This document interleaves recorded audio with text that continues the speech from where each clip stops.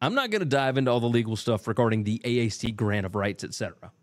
But if SMU does leave to join the Pac 12, that puts the AAC back to 13 teams. Now, who are the most likely expansion candidates for the AAC if SMU joins the Pac 12? Now, it's not as easy to pick up uh, teams as it was even just last season. At this point, you're kind of scraping the bottom of the barrel, uh, but there are certainly some intriguing candidates. I think the first option here for the AAC would be Liberty. Uh, now, they just hired former head Chant Jamey Chadwell from Coastal Carolina. They have an enrollment of 95,000. Their endowment is reportedly $1.7 billion. And Lynchburg, Virginia is directly between Charlotte and Washington, D.C.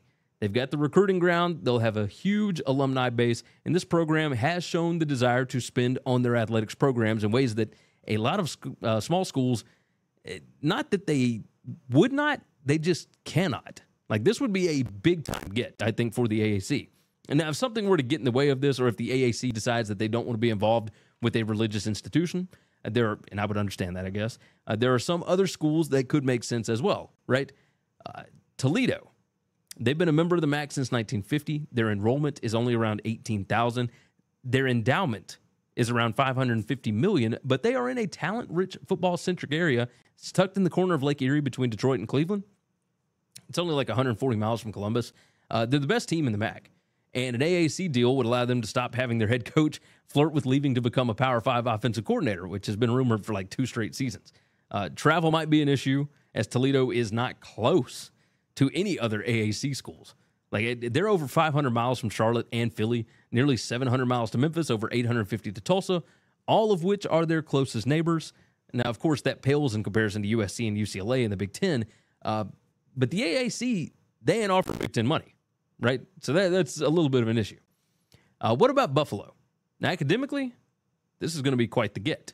Uh, the endowment is over a billion dollars, enrollment over 30,000. Uh, excuse me, 30,000.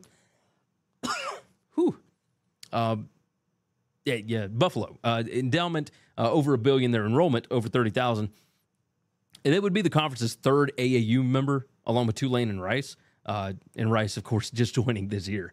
The SEC only has five AAU schools, and that includes Texas, who isn't even here yet. And you know, if if the AAC were to grab Buffalo, that would make them have three. So right up there as far as uh, academics are concerned. Um, Buffalo just joined the FBS in 1999. They've already been in six bowl games. They've played in the MAC title game three times. Uh, they invest in their athletics programs, and they have continuously made good hires. Uh, that's as evidenced by Turner Gill in the late 2000s, uh, Lance Leipold in the late 2010s, and then, of course, the basketball coaches Bobby Hurley and Nate Oats. Now, on top of that, the school is less than 400 miles away from Philadelphia and Annapolis. Like, you still run into the geography issues you do with Toledo, uh, but at least you've got, you know, some schools within 400 miles there. Like, we'll see. Another interesting idea here is would the AAC want to try and steal a Mountain West school? Like UNLV is my last interesting proposition here. Uh, the AAC has shown a propensity to want schools in big metropolitan areas, which helps with eyeballs, branding, sponsorship opportunities, etc.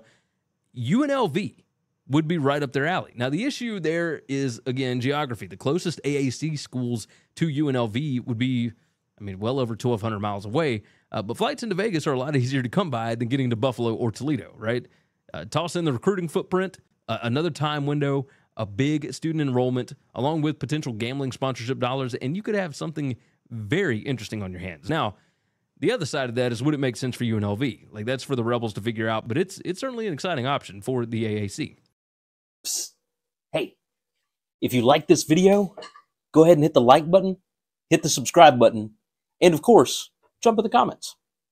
Thanks for listening to Winning Cures Everything. Make sure and subscribe on YouTube or your favorite podcast app, and make sure to leave a nice five star review. You can follow Gary on Twitter at GaryWCE, and the show is at Winning Cures. Be sure to check out the merch in our web store and share the show.